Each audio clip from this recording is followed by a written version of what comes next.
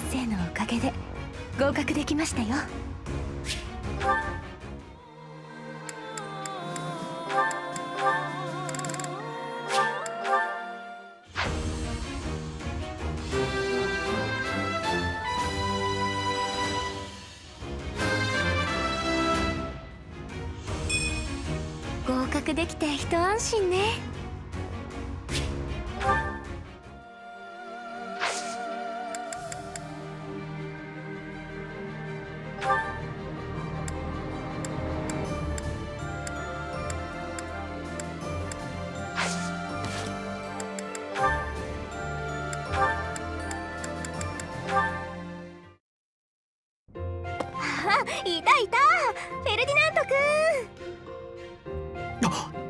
君ヒルダお願いはもう聞かないからな。ひどい。そういう態度女の子に対して失礼よ。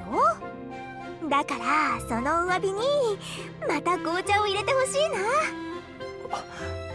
な。礼を書いていたことはお詫びをだが紅茶を入れるのは断る。以前君には紅茶の入れ方を教えただろう。自分でできることは自分でやりたまええてはもらったけどやっぱりあなたみたいには入れられないと思うの。おおなぜかね。まず茶葉の選び方が上手だったでしょ。ちゃんと気温や湿度を考えて選んでたよね。茶器も私が気に入りそうなものをさりげなく選んでくれてたし入れる時だって温度時間注ぎ方どれも完璧で火の打ちどころがなかったよヒルダ実は君紅茶にかなり詳しいんじゃないか。うんうん。全然詳しくないよ。あなたのやり方を見ていてなんとなく感じただけ。器の持ち方も優雅だし注ぐ音まで上品で五感丸ごと癒されちゃった。いや私は単に伝統的な作法にのっとって入れたまでだが。ふんそうなんだ でも本当に伝えたいのはここから。フェルディナント君の紅茶にはね飲む人への愛があるって思ったの。美味しく味わってもらいたいっていう真心。私飲んだ瞬間に感じたんだ。ままあ他人に出すものだからな。そのくらいの愛は込めるさ。だが正直驚いたな。紅茶に対するこだわりなど気に留めないものも多いから、君にそこまで感動されては仕方がない。もう一杯だけ入れてやるとしよう。本当？やった！ありがとう！あ茶器を選んでくるから少し待っていてくれたまえ。フェルディナント君って単純？でも本当に優しいんだな。ふ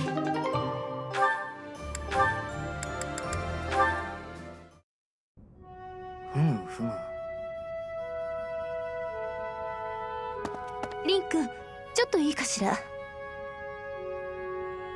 あれ？ドロテア。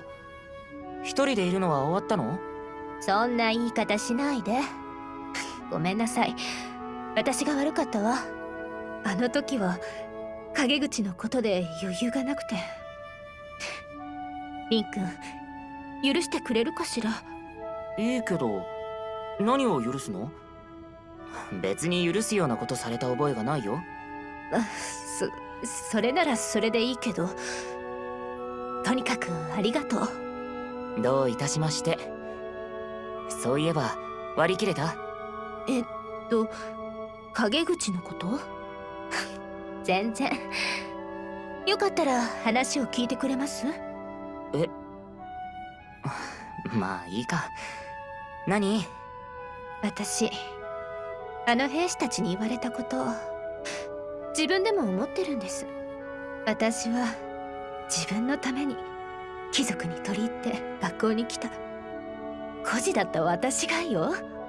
それがいつの間にか兵を率いるようになって先生の指揮で戦う将に分不相応でしょ。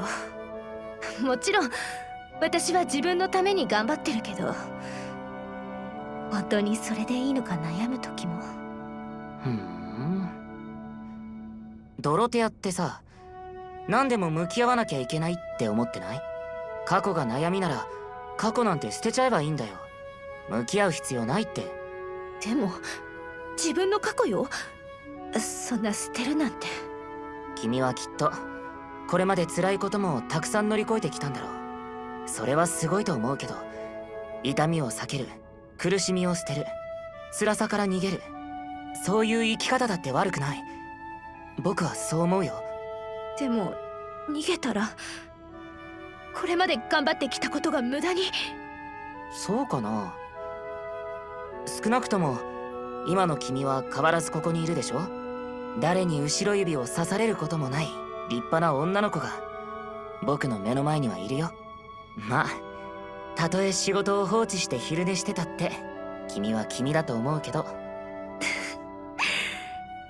その例えはよくわからないけど。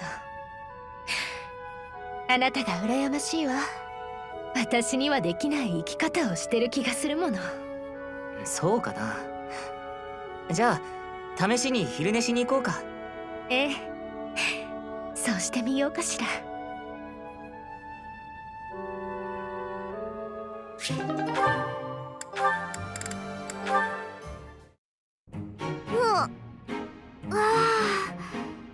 やっぱり一気に全部は無理かな。いやあアネットその箱どうしたの？リーハルトちょうどよかった。あのね荷物を運んでくれって頼まれちゃったんだけど。どうせなら一度で済ませたくっていっぺんに運んだら途中で力尽きて。へえ。まあ何度も往復するのは面倒だもんねその気持ちわかるよ。じゃ荷運び頑張って。僕は昼寝するから。あリンハルトちょっと手伝って。行っちゃった。はあ仕方ないか。寮まであと少しだし頑張っちゃおう。よいしょ。おおっとうわあれ散らばってない。いやー危ないところだったね。リンハルト帰って昼寝するんじゃなかったの？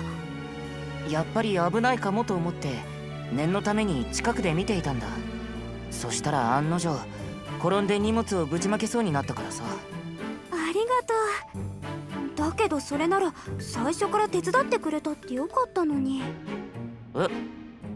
君が引き受けた仕事でしょ？なんで僕が手伝うの？じゃあどうして助けてくれたの？荷物をぶちまけたらみんなで片付ける羽目になると思ったからね。壊れてダメになって新しく調達するのに借り出されるかもしれないしそんなの面倒すぎて昼寝どころの話じゃないって。おお最初から手伝っててくれたらぶちまけそうにもならなかったのに。だからぶちまけないようにはしてあげたでしょ一度に運ぶのは難しいって分かったから。あとは面倒でも分けて運ぶしかないよね。それじゃ頑張って。そこまで言っておいて結局手伝ってくれるわけじゃないんだね。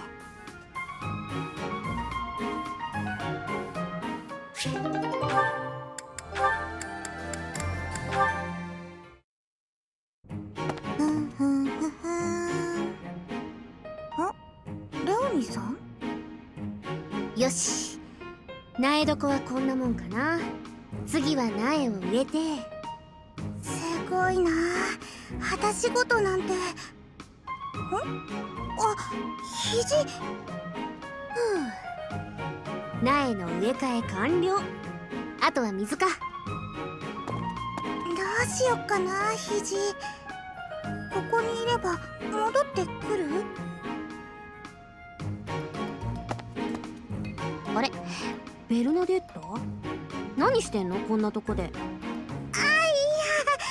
レレオニーさん。ええー、っとあのね。ん？なんだよはっきり言えよ。うんそのしっかり働いてるレオニーさんがすごいなって思って。いや見てるだけなら手伝ってよ。用ってそれなの？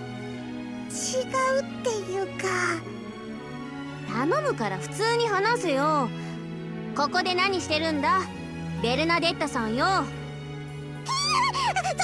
そその肘なの？肘？肘がどうかしたか？なんもなさそうだけど。私のじゃなくてレオニーさんの肘ほころびてるなって。は？ほころび？ああ本当だ。右肘に穴が開いてる。あなんだよ。そのくらいのことすぐに言えるだろ？まあこの程度のほころびなら全然気になんないけど。ごごめん。あのよければだけどそのほころびベルが直そうか？すぐできるよ。え？あんたが？そんなことできんの？うん。お裁縫得意だから。そうなんだじゃあせっかくだからお願いしようかな。ちょっと待っててな。苗に水をやっちまうから。あそれか先に脱いじゃうか。よっと。え？ちょっとレオニーさん。そんなはしたない格好。ダメ。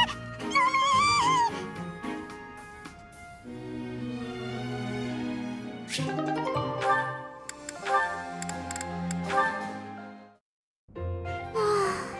私ってば今までで一番最低なドジだったよ。おばさんたちは笑って許してくれたけど。はあこれからどんな顔をすれば。おうアネットじゃねえか。何干からびたリンゴみてえな顔してんだ。お前がそこまで落ち込むなんて。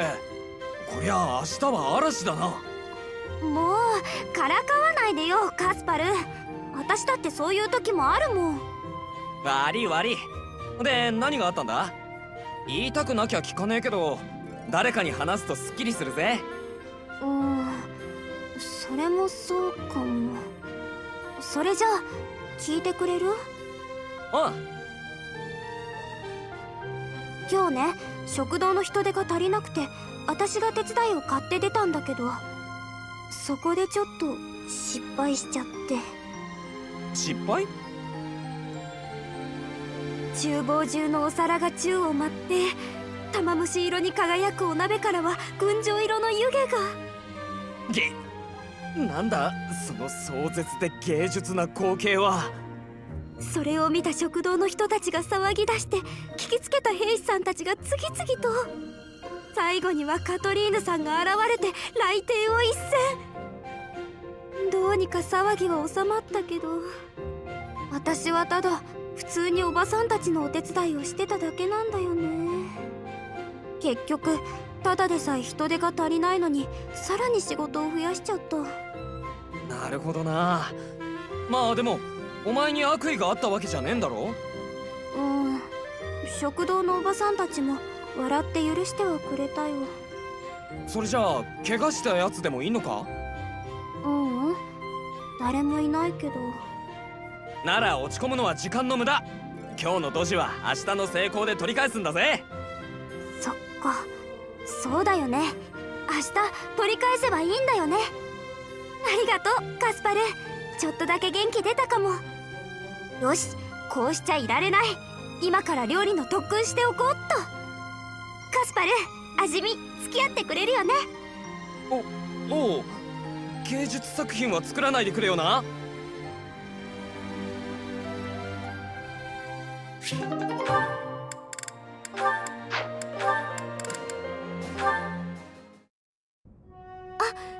えリシテア。ちょっと魔法のこと教えてほしいんだけど。なんで私に？なんでってリシテアの方が私より魔法に詳しいかなって。そうでしょうか。アネットってオートの魔導学院では優等生だったんでしょ？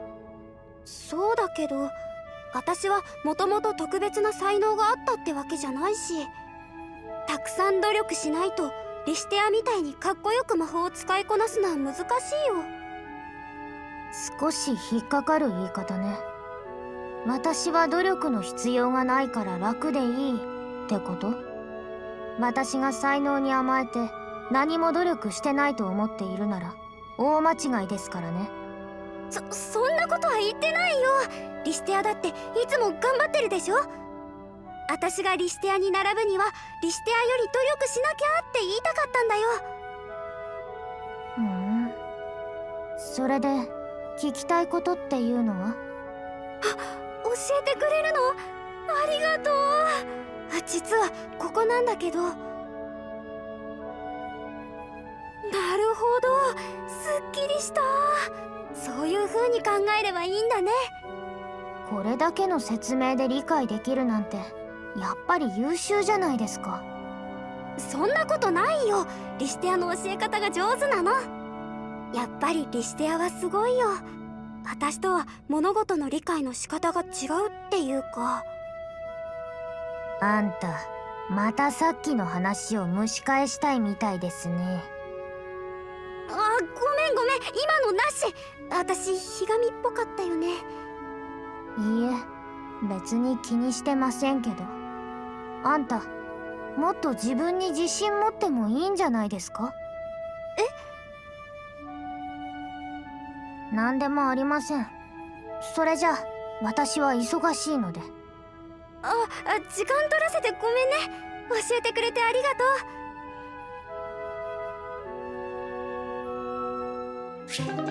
う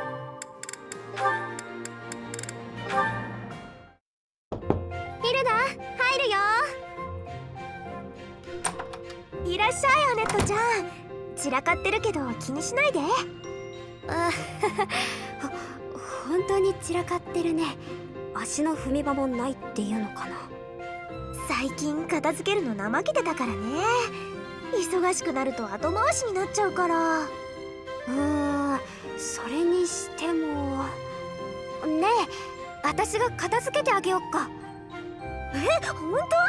助かるアネットちゃん掃除は得意なの？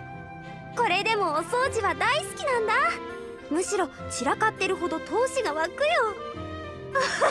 頼もしい。それじゃあ私は邪魔しないように外にいようかな。はーい任せて。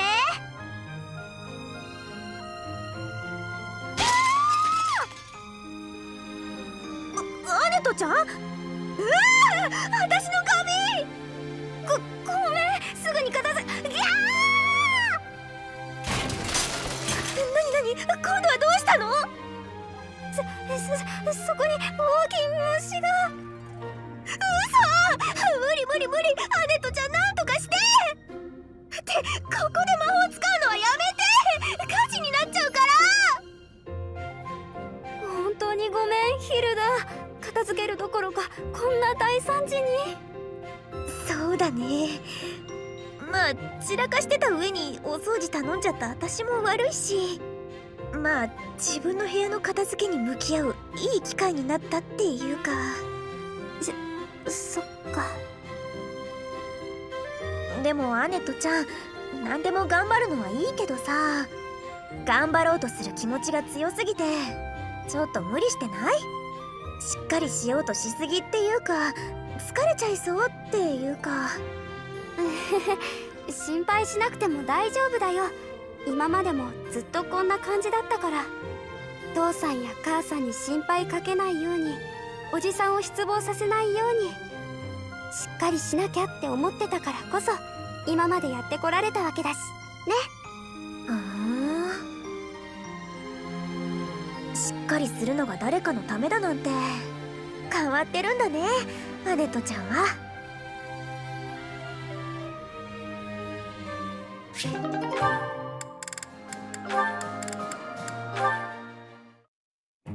あもうやってらんない。なんで私が書庫の整理なんて。こういう時に頼めそうな人はいないし怠けるとうるさく言う人がいるし。ここなら誰もいないわよね。ちょっと休憩。あ？何の音？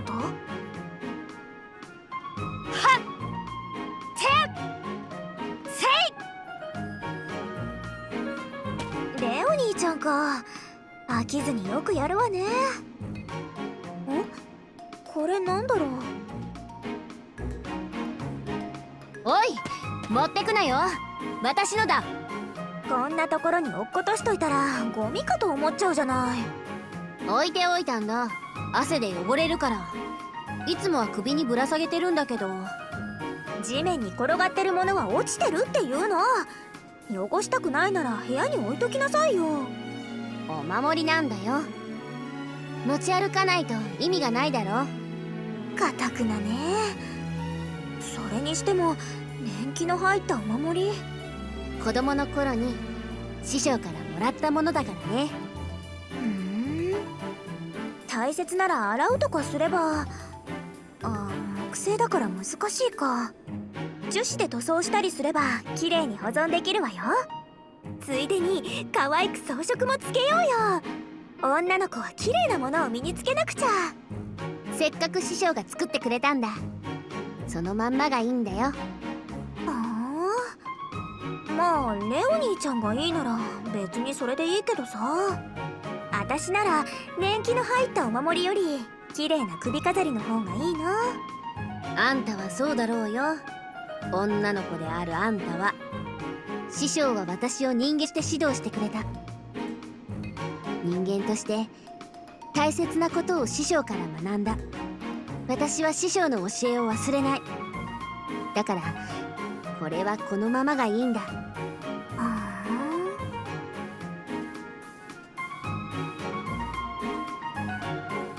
一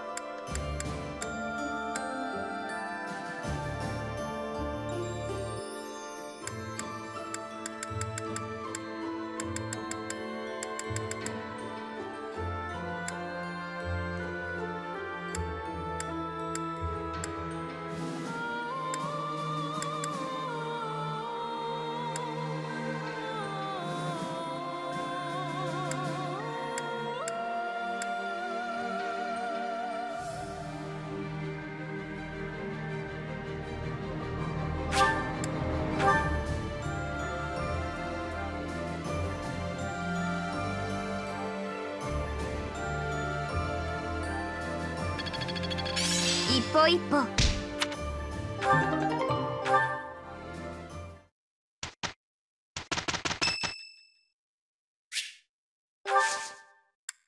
感謝します。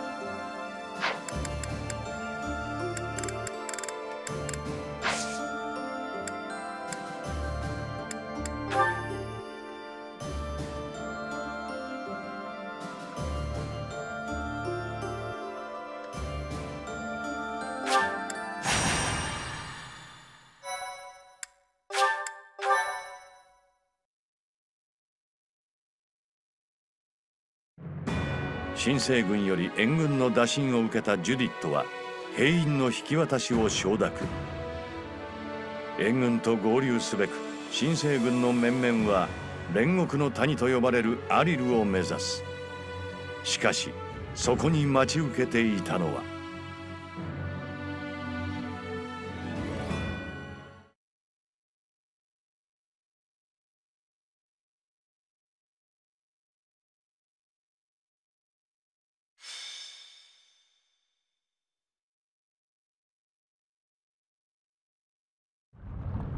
暑い。もうダメだ。帰りたい。ああ。帰りたい。アリルは女神の怒りが生み出した土地だとされている。過去に大きな争いがありそれを鎮めるため女神が谷を焼いたのだというのだ。だが聖典に記されてはいない。他の者の所業を女神に押し付けたのではと。暑さ私の頭やられます。見えている幻覚でしょうか？あの岩山影影が。影影ってなんだよ。人影か？うん。あれは軍勢だ。落ち合う予定の場所とは違うが。何？軍曹は王国軍だと？蹴取られたか？ちまだ患者がいたな。始末しきれていなかったか。あの旗帝国に寝返ったローベ家のものだな。わざわざここまで来るとはね。直ちに戦闘を用意！いいか？ああ。まだ戦闘した様子はないが油断はできない急ぎ奴らを撃ちジュディットの軍を探そう。この煉獄を戦場に選んだ愚か者どもを真の地獄へと送ってくれる。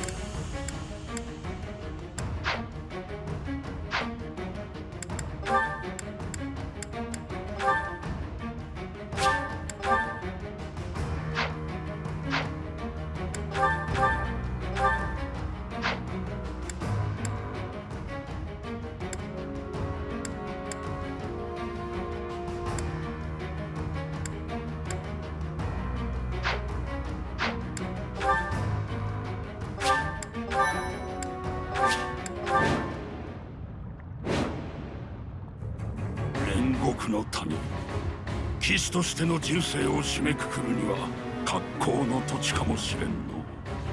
まああの若造ばかりの小勢にわしを殺せればの話だ。あの獅子の旗ローベ家の兵を率いているのはやはりゲンダルか。王国内で有名を轟かせていた老将だ。油断しない方がいいだろう。これが煉獄の谷アリルあちこちから煙と炎が上がっているな。煉獄の炎に触れれば火傷では済まん。皆注意して動いてくれ。戦場を広く見なくては。引きこもれないよう変えなきゃ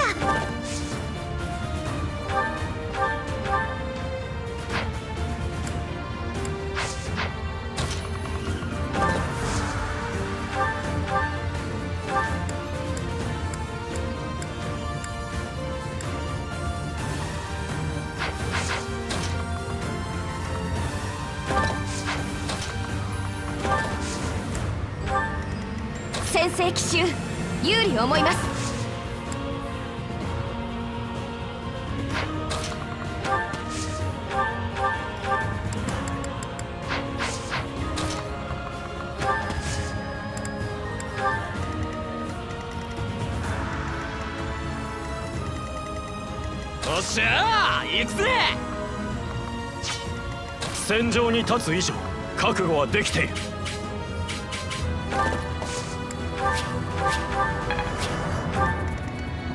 さあ急ぎましょう。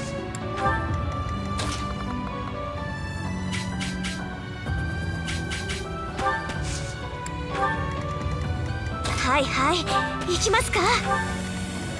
あと何度戦えばいいのかしら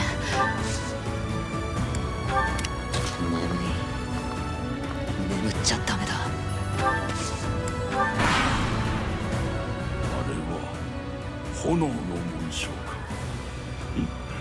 生意気な軍旗を掲げおって。やっぱりあれは先生たちの軍。だけど今さら引くわけにはいかない。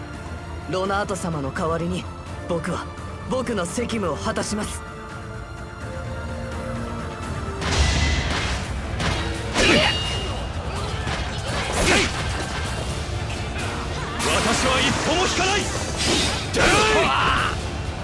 死なずに済んだ。さあ次だ。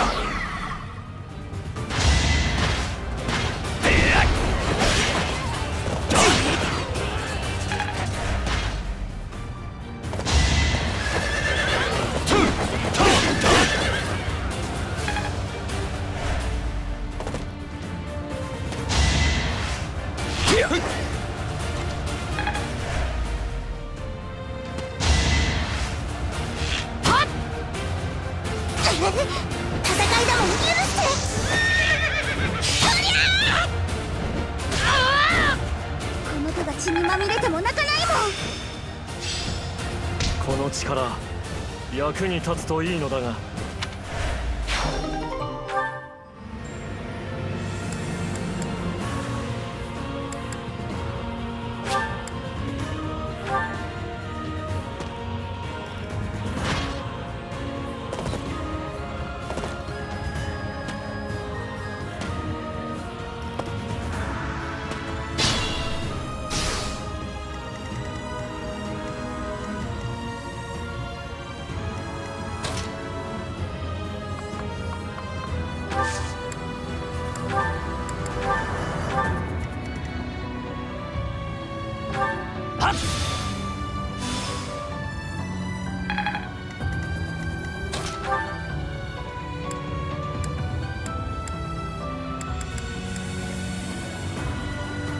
先生。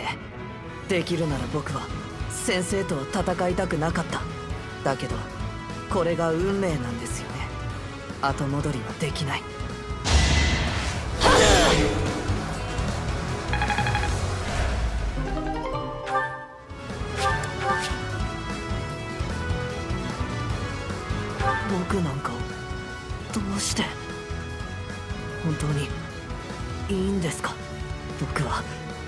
僕は先生のところに行きたい。先生と一緒に戦いたい。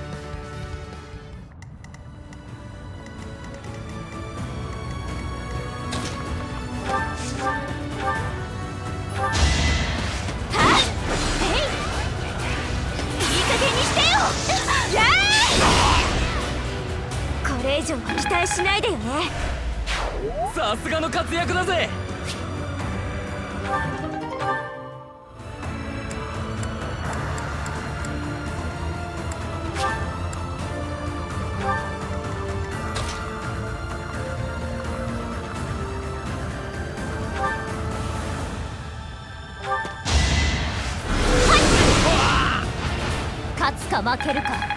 それだけです。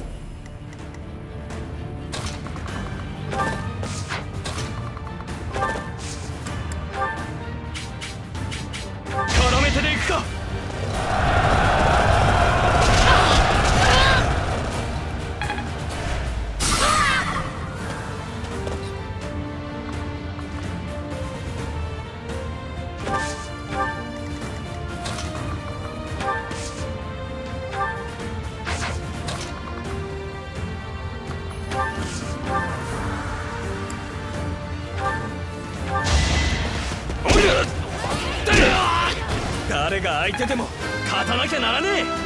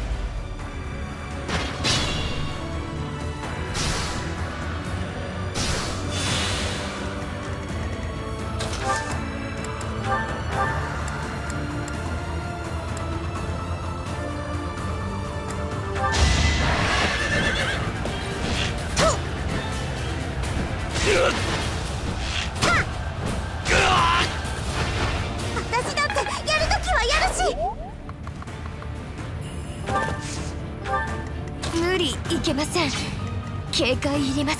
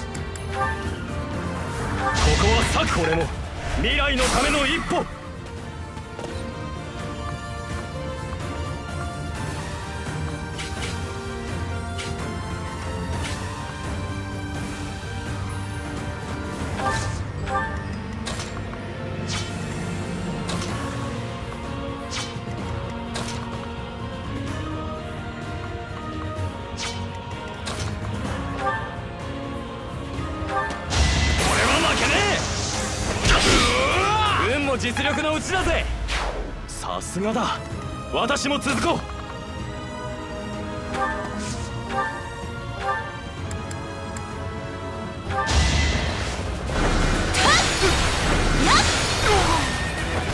戦いに終わりなんてあるのかしら？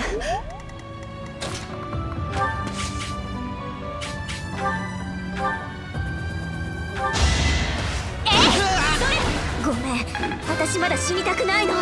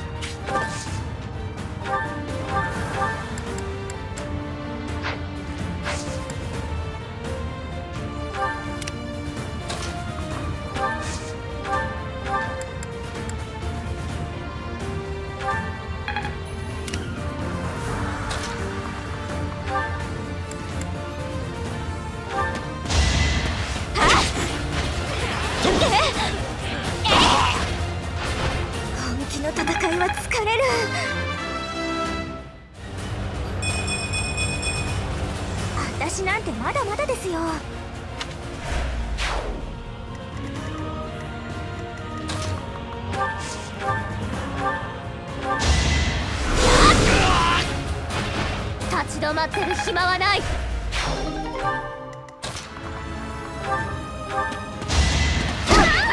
死にてえやつからかかってきな。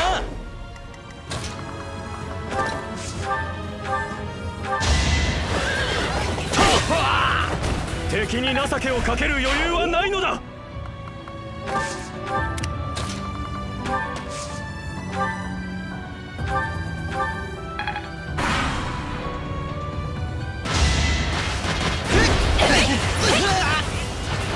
皆を導かなくてはこ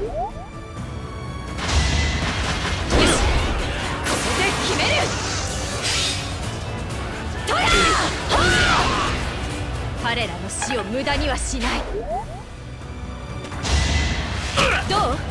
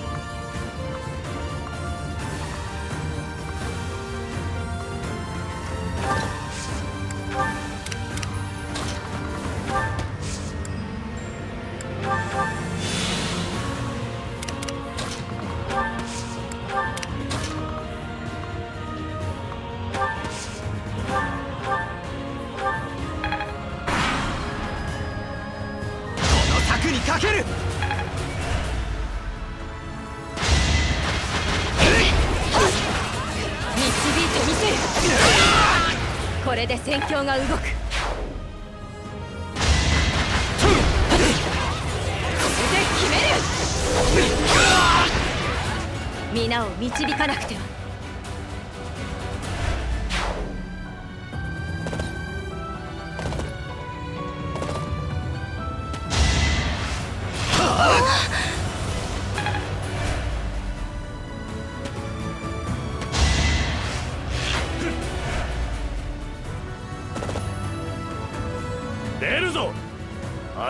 挟み撃ちにしてやれ。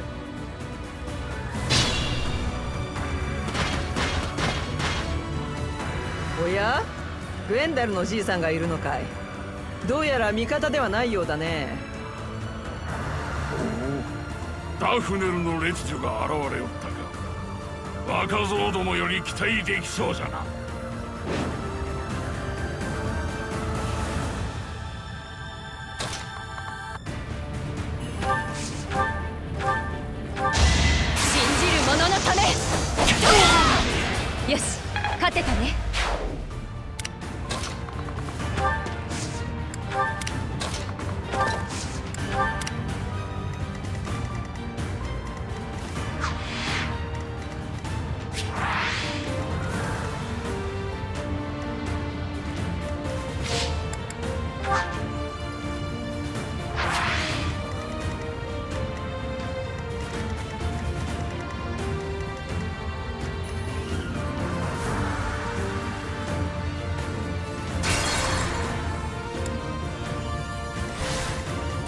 聖騎衆有利思います。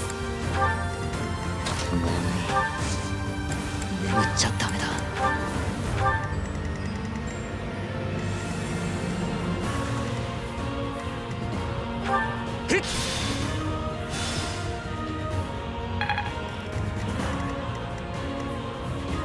はいはい行きますか。さあ急ぎましょう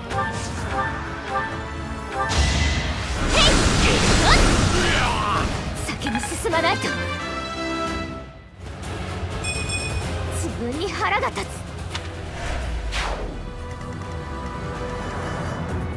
戦場に立つ以上覚悟はできている。あと何度戦えばいいのかしら。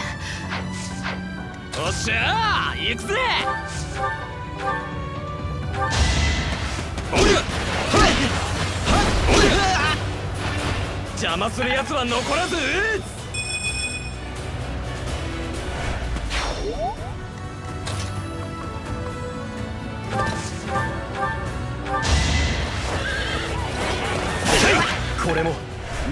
ための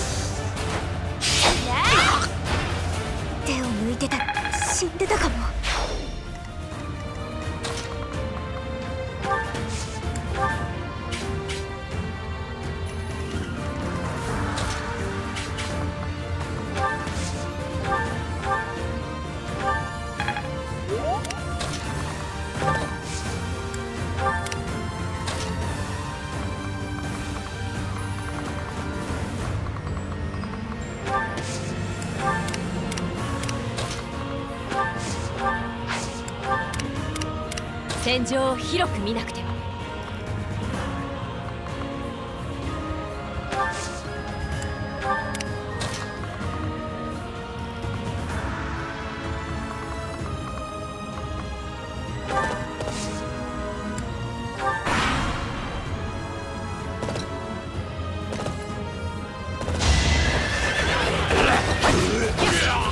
これで戦況が動く。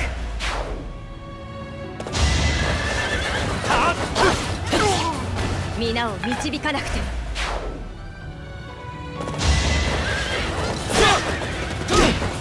その首よこせ誰が相手でも勝たなきゃならねえ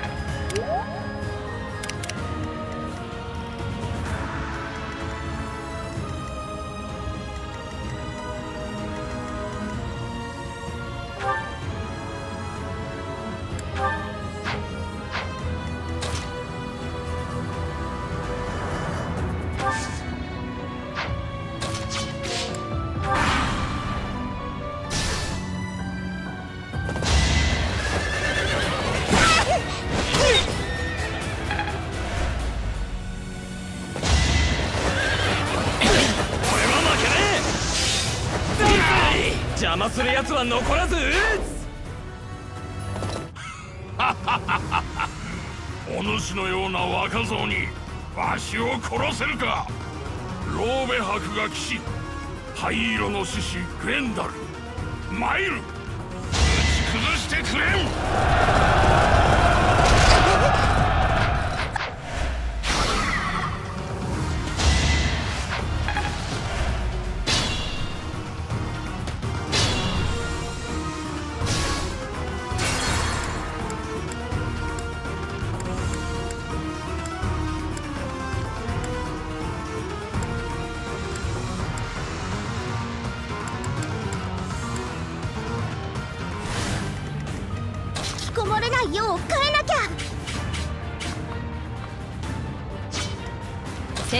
広く見なくて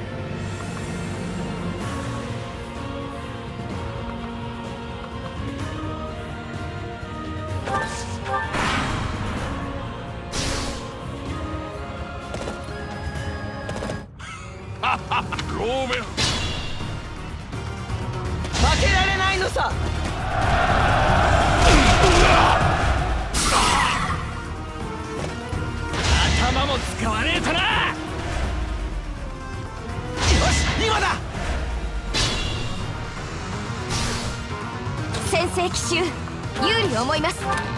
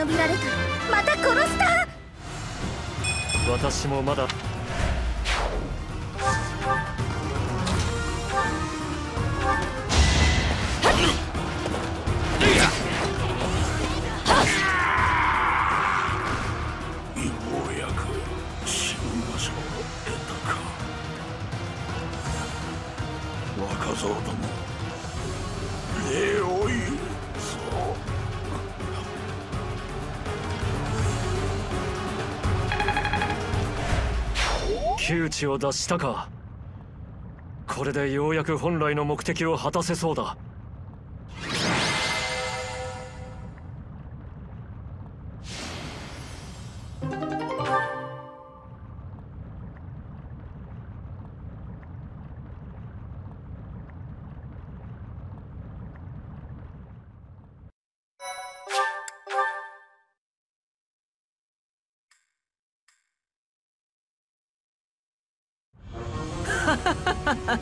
まさかこんな場所で人暴れすることになるとはね。まあお互い生き残れたことを喜ぶとしよう。やめとくれよ。それは昔の話さ。それよりあんたが噂の先生かい？なるほど。クロードの言う通りだね。あの坊やに頼まれたんだよ。気に入ると思うから力を貸してやれって。同盟の名手クロード。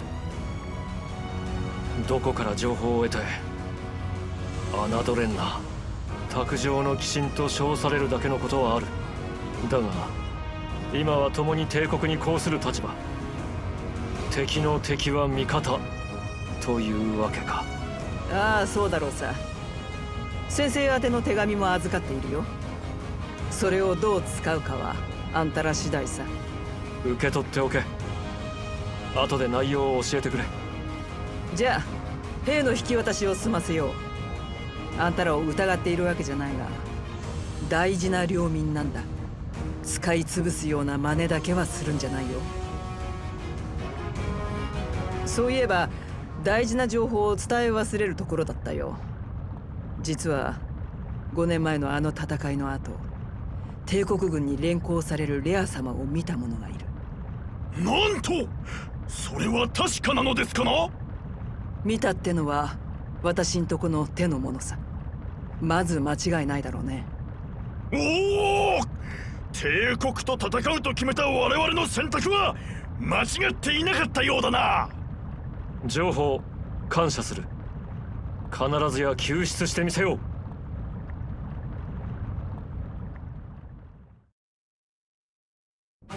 さて兵力を増強できたおかげで我々は帝国へと軍を進められる。と言っても敵の本軍と正面からぶつかるほどの戦力は我々にはない。少数精鋭で用地を攻略し迅速に帝都に攻め入ることになるだろう。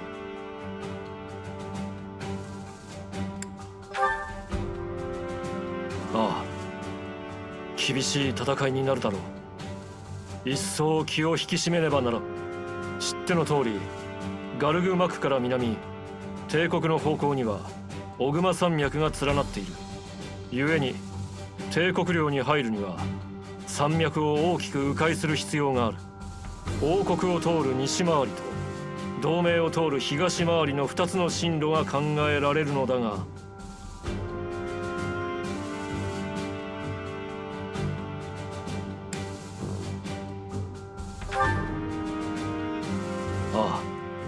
そうなるだろう。同盟にも帝国派の諸侯はいるが未だ完全に支配下にあるとは言い難い。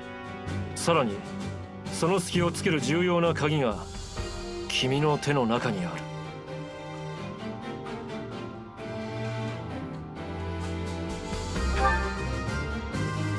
そう。それだ。久しぶりだな先生。まさか生きてるとはね。寝耳に水だよ。あんたなら信用できると思っての交換条件を一つ提案させてもらう。あんたら帝国領に攻め入るつもりだろ？とすると東回りの進軍路しかないはずだ。そのためには同盟と帝国の境界を流れるアミット大河を渡る必要があり大河に架かる橋の中で最もガルグマクに近いミルディン大橋を抑えなきゃなら一方で俺の家リーガン家はグロスタール家と対立していてね。殲滅するのは簡単なんだが俺としては被害を大きくせず収めたい。そこでこっちでグロスタール家の軍を引きつけている間にあんたらにグロスタール領を通過してミルディン大橋を落としてもらいたいのさ。橋を帝国軍から奪えばグロスタール家は帝国の援護も受けられなくなるからな。あんたらはミルディンまで無傷で行ける。俺は同盟の安定を保てる。悪い条件じゃないだろ返事は早めに頼むぜ先生。これが鬼神の地望か。こちらの状況をつかみすぎていて恐ろしいが条件については悪くない。クロードの言う通りだ。ミルディン大橋を落とした結果グロスタール家がリーガン家に屈すれば修道院から帝国領への進軍路もかなり安全なものとなるだろうしな。心は決まったか？ならばすぐに返事を出そう。